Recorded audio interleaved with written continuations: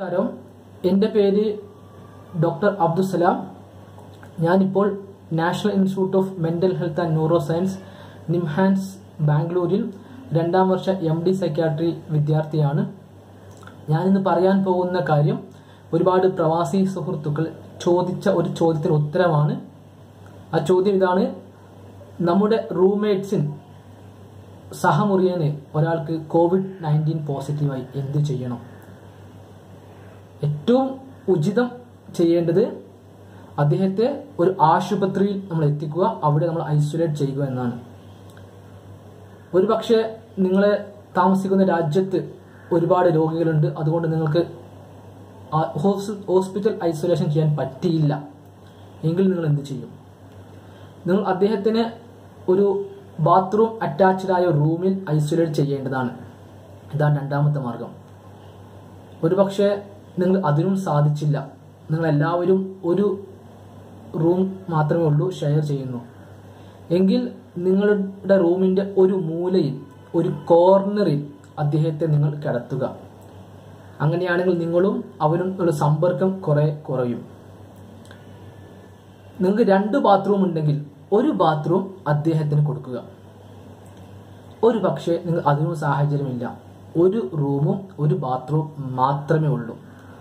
എങ്കിൽ നിങ്ങൾ അദ്ദേഹത്തെ ഈ മുറിയുടെ ഒരു മൂലയിൽ കിടത്തുക. ഇനി എപ്പോഴും ചിന്തിക്കുക ആശുപത്രി ഐസൊലേഷൻ അല്ലെങ്കിൽ സെപ്പറേറ്റ് ബാത്ത് അറ്റാച്ച്ഡ് റൂം കിട്ടുകയാണെങ്കിൽ എപ്പോഴും അതിന് മുൻതൂക്കം കൊടുക്കുക അതിന് ശ്രമിച്ചുകൊണ്ടിരിക്കുക ഇനി നമ്മൾ ചെയ്യേണ്ട കാര്യം ഇദ്ദേഹത്തെ ഒരു റൂമിന്റെ മൂലയിലാണ് നമ്മൾ കിടത്തുന്നത്. അദ്ദേഹം ഉപയോഗിച്ച ബെഡ്ഷീറ്റ് വസ്ത്രങ്ങൾ പാത്രങ്ങൾ മുതലായി ഒന്നും നമ്മൾ സ്പർശിക്കരുത്. നമ്മൾ അദ്ദേഹത്തുമായി രണ്ട് മീറ്റർ ശാരീരിക അകലം പാലിക്കുക. അദ്ദേഹം മാസ്കും ഗ്ലൗസും ധരിക്കുക. ആ മുറിയിലെ ബാക്കി എല്ലാ ആളുകളും മാസ്ക് ധരിക്കുക. കാരണം രോഗം ബാധിക്കുന്നത് റെസ്പിറേറ്ററി ട്രാക്ട് വഴിയാണ്. ഇനി അദ്ദേഹത്തിന് ബാത്റൂം ഉപയോഗിക്കണം. എന്ത് ചെയ്യണം? പരമാവധി ആ രോഗി അദ്ദേഹത്തിന് കൈപ്പത്തി കൊണ്ട് മുറിയിലോ ബാത്റൂമിന്റെ വാതിലിലോ ബാത്റൂമിനകത്തോ ടച്ച് ചെയ്യാതിരിക്കുക. നമ്മൾ അദ്ദേഹത്തിന് വേണ്ടി ബാത്റൂമിന്റെ വാതിൽ തുറന്നു കൊടുക്കുക. അദ്ദേഹം അകത്ത് പ്രവേശിച്ച ശേഷം അദ്ദേഹത്തിന്റെ കൈമുട്ടുകൊണ്ട് ബാത്റൂമിന്റെ വാതിൽ അടക്കുക. അങ്ങനെ അദ്ദേഹം ബാത്റൂം ഉപയോഗിച്ച ശേഷം തിരിച്ചെത്തി. ഇനി നമ്മൾ അദ്ദേഹം ഉപയോഗിച്ച ബാത്റൂമും അദ്ദേഹം ഉപയോഗിച്ച വസ്ത്രങ്ങൾ പാത്രങ്ങൾ ബെഡ്ഷീറ്റ് നമ്മൾ എങ്ങനെ ക്ലീൻ ചെയ്യും? നമുക്കറിയാം ഏറ്റവും ഉചിതം ഹാൻഡ് സാനിറ്റൈസർ ഹാൻഡ് സാനിറ്റൈസർ ആണ്. പക്ഷേ അത് പ്രായോഗികമല്ല. കാരണം അത് അതിന് ലഭ്യതക്കുറവുണ്ട്. രണ്ടാമത്തത് അതിന് വില കൂടുതലാണ്. അപ്പോൾ നമുക്ക് ഏറ്റവും നല്ല രീതിയിൽ ഒരു ഒരു അണുവിമുക്ത നാശിനി എങ്ങനെ ഉണ്ടാക്കാം? അതാണ് വൺ പെർസെന്റേജ് ഹൈപ്പോക്ലോറേറ്റ് സൊല്യൂഷൻ നമുക്ക് ഉണ്ടാക്കാം ഒരു ലിറ്റർ വെള്ളത്തിൽ മുപ്പത് ഗ്രാം ബ്ലീച്ചിങ് പൗഡർ അഥവാ രണ്ട് ടേബിൾ സ്പൂൺ ബ്ലീച്ചിങ് പൗഡർ ഇടുക. എന്നിട്ടൊരു കൊമ്പ് ഉപയോഗിച്ച് നമ്മൾ നന്നായിട്ട് അത് ഇളക്കുക. പത്ത് മിനിറ്റിന് ശേഷം അതിന്റെ മുകളിലുള്ള തെളിഞ്ഞ ആ ലായനി നമ്മൾ എടുക്കുക.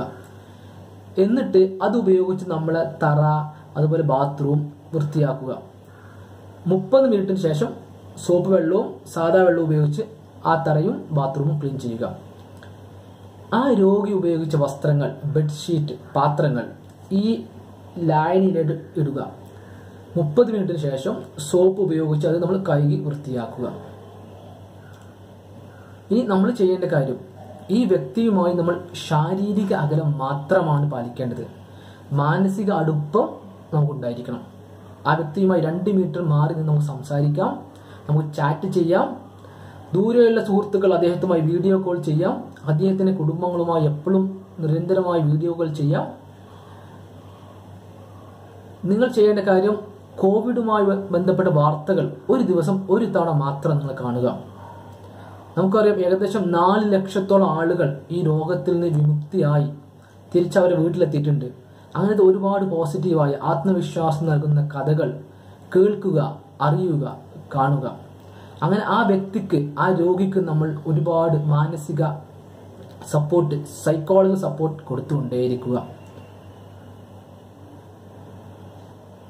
എപ്പോഴും ഒരു ആശുപത്രിയിലെ ഐസൊലേഷനോ അല്ലെങ്കിൽ സെപ്പറേറ്റ് റൂം ഐസൊലേഷനോ ശ്രമിച്ചു കൊണ്ടേയിരിക്കുക എന്റെ ഈ ചാനൽ സബ്സ്ക്രൈബ് ചെയ്യാത്ത ആളുകൾ സബ്സ്ക്രൈബ് ചെയ്യുക. തൊട്ടടുത്തുള്ള ബെൽ ഐക്കൺ അമർത്തിയാൽ എന്റെ അടുത്ത വീഡിയോസിന്റെ നോട്ടിഫിക്കേഷൻ കിട്ടുന്നതായിരിക്കും. താങ്ക്